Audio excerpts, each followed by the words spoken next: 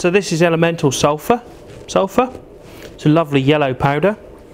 It's actually one of the three components of gunpowder. Sulfur, sulfur is normally found in a yellow form and it occurs quite widely in nature. So I have here a sample of sulfur. Well, it's actually a mixture of sulfur and sand that was picked up on, by one of my colleagues on his honeymoon.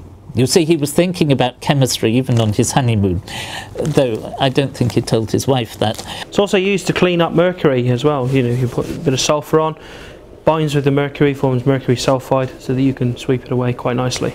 Sulfur isn't has a rather unusual behavior when you heat it up.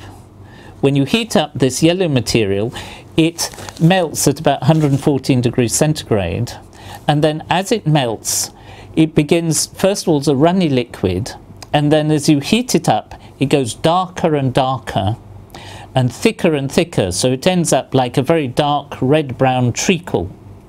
And if you pour this into water, it then looks rather like silly putty. You get out a material which is lighter brown, which you can pull and um, mould around for several hours till it goes hard. And the reason for this is that sulfur exists in this form as molecules of S8, that's eight sulfur atoms in a ring. And as you heat it up, these S8 rings break and you get longer and longer chains of molecules. So in the solution, it becomes more and more viscous.